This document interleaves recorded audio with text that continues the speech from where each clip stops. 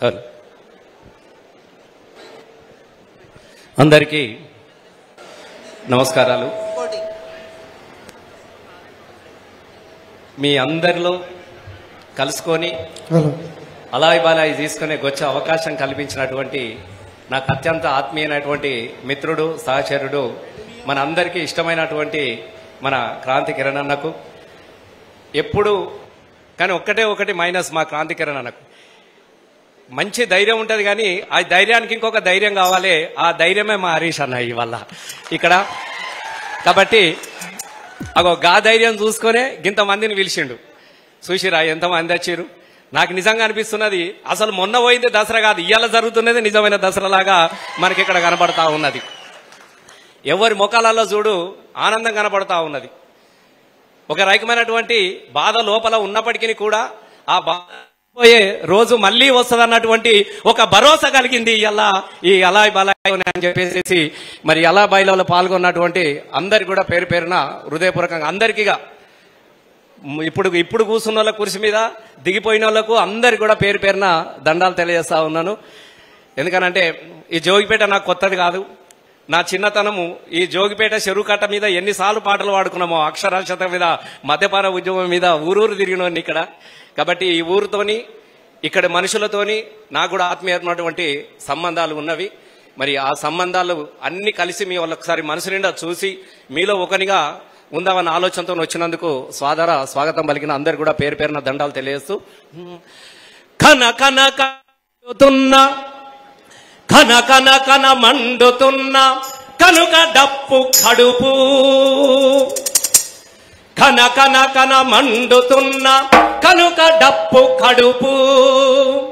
గాలిలోన ఆడుతున్న గాలిలోన ఆడుతున్న గజ్జలు ఈ కాళ్ళు వేణువై ఎగిసిపడే రాగము ఈ గొంతు ప్రేమతో మీరందించే చప్పట్లే ధరువు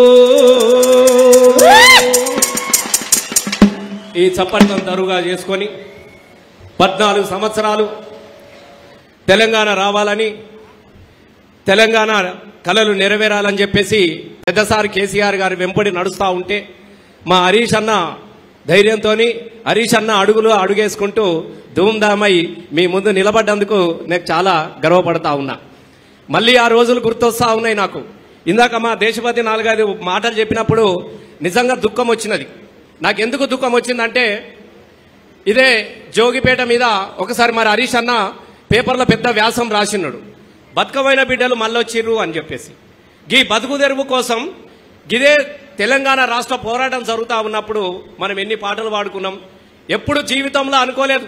మళ్ళీ గసొంటి కన్నీళ్ళ మీద కైగట్టుకొని పాటలు వస్తాయని చెప్పేసి మనం అనుకోలేదు. ఇలా మళ్ళీ ఆ పాటలు యాద్ చేసుకోవాల్సినటువంటి దుఃఖం రావడం అనేది నిజంగా మనం అందరం కూడా బాధపడాల్సినటువంటి అవసరం ఉన్నది. ఊరికే వచ్చినది అవే బాబు ఎంత తిప్పలవాడమే అరే పుడితొక్కడి సత్య రెండు రాజన ఓ రాజన రెండు రాజన ఓ రాజన ఎత్తుల తెలంగాణ జగడ రాజన ఓ రాజన.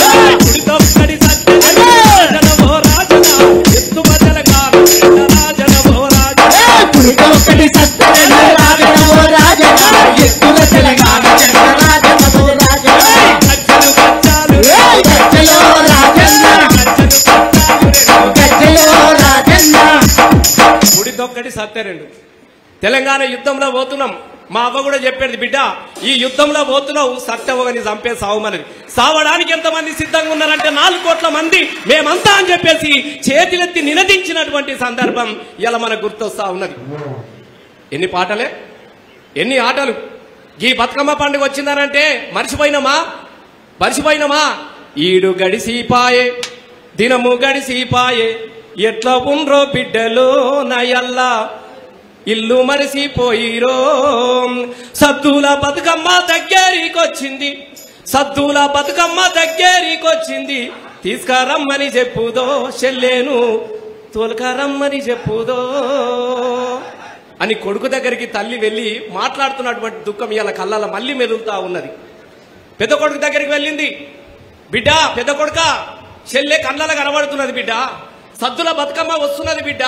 పోయిన పండుగ కూడా రాకపోయా. ఈసారన్న పోయి దోలకరారా అని చెప్పేసి పత్తి సేన్లో ఉన్న పత్తి చేన్లో ఉన్న పెద్ద కొడుక జర్ర పయనమయ్యి పోరో చెల్లెను తోలుకొని రారో.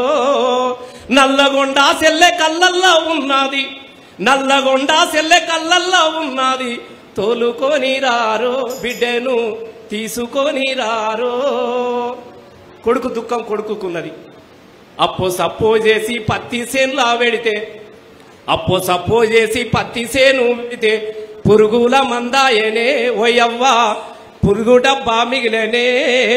నమ్ముకున్న సేను నట్లేట ముంచింది సెల్లెనెట్లా తెద్దునే పండుక్కు.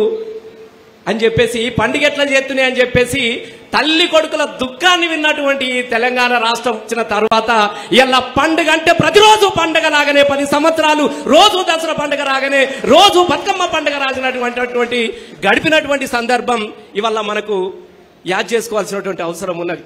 ఇలా ఏ తండ్రికి ఏ తల్లికి ఆ దుఃఖం లేకుండా బతుకమ్మ పండుగ వచ్చిందంటే ఉన్నోళ్ళు ఉంటారు లేనోళ్ళు ఉంటారు అని చెప్పేసి మన పెద్దసారే బతుకమ్మ సీరియల్ పంపించినటువంటి రోజులు నిన్న మాట్లాడుకుంటా ఉన్నారు. మాట్లాడుకుంటున్నా లేదా? మాట్లాడుకుంటురా లేదా? మళ్ళీ ఇప్పుడు వచ్చినాయా బతుకమ్మలు? చీరలు వచ్చినాయా? రాలే వాళ్ళే కట్టుకుంటా ఉన్నారు. ఇక- ఇక మనకేడా పంచిస్తారు వాళ్ళు ఇక ఆ చీరల కథ? ఎందుకంటే అవి వాళ్ళకే వాళ్ళకే పోయినాయి. ఆ చీరలు అటే పోయినాయి ఇక. దసరా దసరా లాగా లేదు.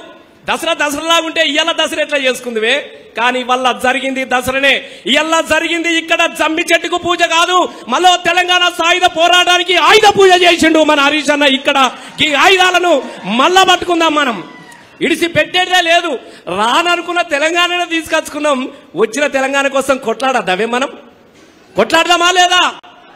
ఇక కొట్లాడదామా అని ఇంటి పోయిన తర్వాత ఫోన్లు వస్తున్నాయి అన్నాను ఇక. ఇక మీ కథలు మీకు అన్నా గటువంటికి భయపడతామే మనం. నీ కథ సాలకుండా ఎన్ని చూడలేదు ఎన్ని పోలేదు. నేను ఎందుకు చెప్తున్నాడే మిత్రులారా నిజంగా చెప్తా ఉన్నా చాలా బాధగా ఉంది. ఈ ఒక్క ఊరు దుఃఖం కాదే. ఇవాళ అన్ని నియోజకవర్గాలలో కూడా గట్లనే ఉన్నది. గా దుఃఖానికి భరోసా ఇవ్వాలన్న ఉద్దేశంతో పాపం మా క్రాంతన్న నేను నిన్ననే వచ్చిన సౌత్ ఆఫ్రికా నుంచి. సౌత్ ఆఫ్రికా పోయినా ఆడ కూడా బతుకమ్మలాడుతున్నారు. ఆడ కూడా దసరా చేస్తున్నారు. మన అమెరికా పోయినా ఒక్కటే మాట చెప్తున్నారు. అయిందేదో అయిందన్నా. మళ్ళా వచ్చిందని మాత్రం కాపాడుకోకుంటే మనం తెలంగాణకు అన్యాయం చేసిన వాళ్ళం అవుతాం కాబట్టి ఎవడైతే తెలంగాణతో కొట్లాడి వా నుంచి తీసుకొచ్చుకున్నామో మళ్ళా వీనికి వెళ్ళగొట్టేదాకా మనం అందరం ఒక్కటిగా నిలబడాలని చెప్పేసి ఇలా ప్రపంచ దేశాల్లో ఉన్నటువంటి ప్రతి తెలంగాణ బిడ్డ ఆకాంక్షిస్తా ఉన్నాడు కోరుకుంటా ఉన్నాడు కాబట్టి మనమందరం మళ్ళీ మన క్రాంతనకు మద్దతుగా నిలబడదాం. నేనైతే మద్దతుగా ఉన్నా. ఎంతమంది మద్దతుగా ఉన్నారో చేతులు ఎత్తురు మీరు అందరు కూడా. పక్కన? పక్కన? అగో హరీష్ అన్న అయితే భరోసానిచ్చింది ఎందుకంటే అది లేకుంటే మనకి ఏది లేదు. నీది ఇది కూడా చెప్తా ఉన్నా. ఇలా పొద్దున్న లేస్తే నిజంగా చెప్తున్నా భూమి సూర్యుని చుట్టూ తిరుగుతుంది. మన హరీష్ అన్న తెలంగాణ చుట్టూ తిరుగుతా ఉన్నాడు. పొద్దుగా లేస్తే ఇదే పని. ఆపదులకు సంపదలకు నిజంగా చెప్తున్నా అన్న. నేను నేను చాలా అన్న కోసమే ఏదో చెప్పట్లేదు. నేను వాస్తవంగా చెప్తున్నా అన్న. ఇలా గా భరోసా మనకున్నది. మనకేమో కొట్లాట కొత్త కాదు కానీ ఏది ఆట కొత్త కాదు పాట కొత్త కాదు ఆట పాట కోసమో కాదు. ఇలా మనం అందరం గుండె గుండెలను కదిలించుకుంటూ ఇలా మనం అందరం ఒక్కటిగా ఉందామన్నటువంటి ఆలోచన చెందే. ఇందాక మా మిత్రుడు దేశభా చెప్పిండు పెద్దలు పెద్దలు మా మసోన్ చారన్న గారు నాకు తెలిసి ఆయన ప్రతిపక్ష నాయకునిగా ప్రమాణ స్వీకారం చేసి మొదటి కార్యక్రమం కూడా ఈ అలాయ్ బలాయ్ జోగిపేటకి రావడం అనేది చాలా సంతోషం.